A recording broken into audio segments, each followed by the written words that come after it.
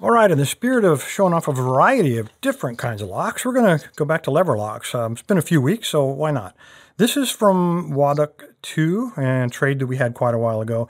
I, I want to call this a Yale, but only because the key is marked Yale. This, this thing is not marked anywhere. Usually they're stamped on the front here with the model number, manufacturer, and so forth, but this one's not.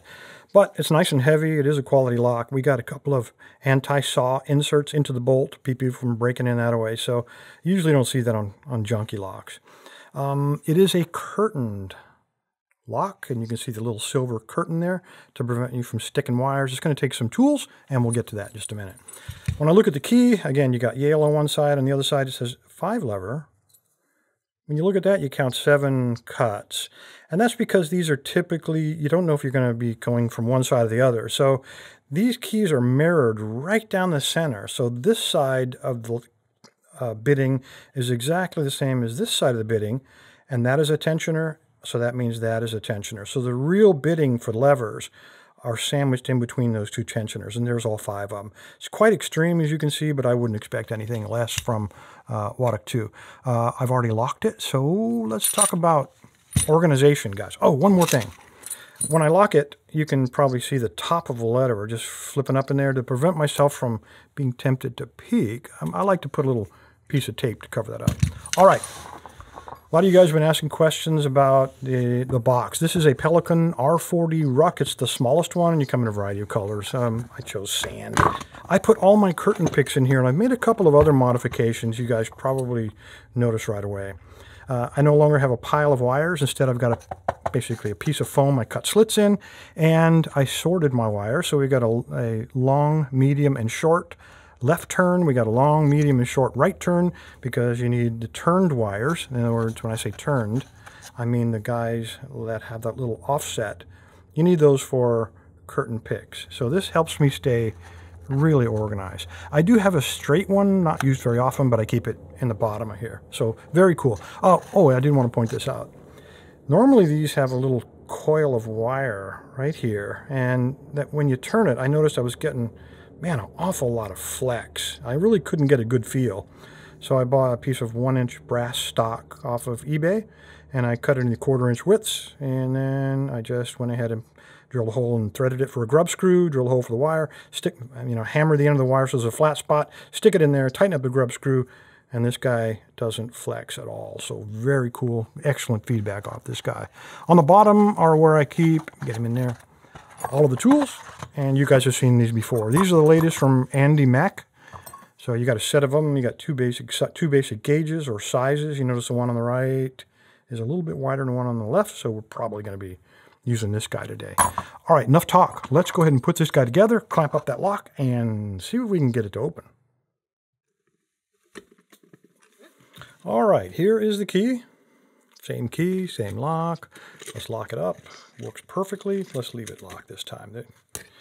Hopefully we don't need that stinking key. All right, um, I've got the tool selected. We got the right size, 50-50 choice. Slide him in there and grab a wire that's got that turn on it. Slide him down the groove in the back of the lock, or down the length of the lock rather, and slide him as far in as we can get him because I know from having seen the key that this guy has some really low cut levers, which can be a real bear to get underneath. And I think I'm all the way in the back there. All right, I think that'll do it. Let's just adjust this a little bit. I want to try to keep this part in focus without my fingers in there. And keep an eye on that as well, because if I hit a false gate or maybe even the real gate, we should get a false set. Fingers crossed. All right. I'm going to start out with moderate tension. And see what we got here. All right, that was the very backmost lever. Uh, but he's still spring. Got a click, but it feels like he fell back down. So, all right, everything is springy.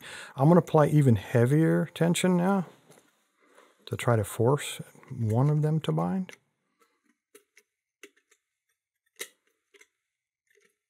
Nothing. Nothing. All right, one of you guys got to bind.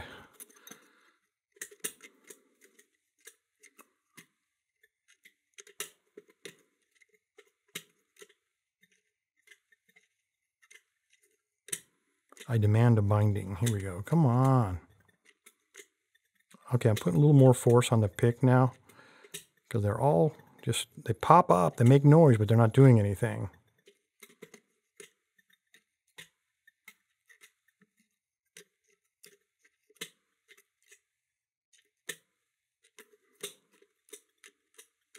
All right, let's try to recock it. I might have done a bad thing on that last lever. Okay, let's start again. Again with a heavy, heavy tension.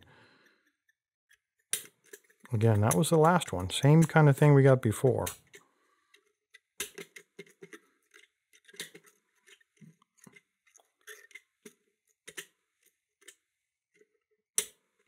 And that was the last one again. It keeps making noise, but not doing anything. Kind of like my brother-in-law.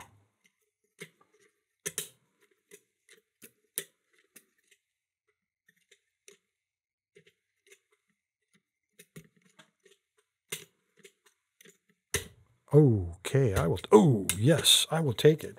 Notice how that thing, I might have had too much tension, kind of holding things up. I don't know. We definitely haven't opened, but that was kind of kind of nasty. All right, the trouble wasn't with uh, false gates, I don't think. I don't believe this has any false gates.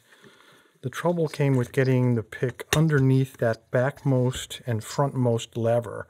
I think that's probably why Waddac chose this particular lock to be, be a challenge.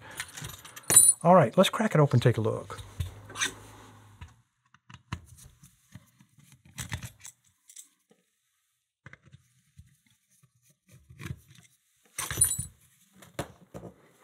Let's look at the innards here.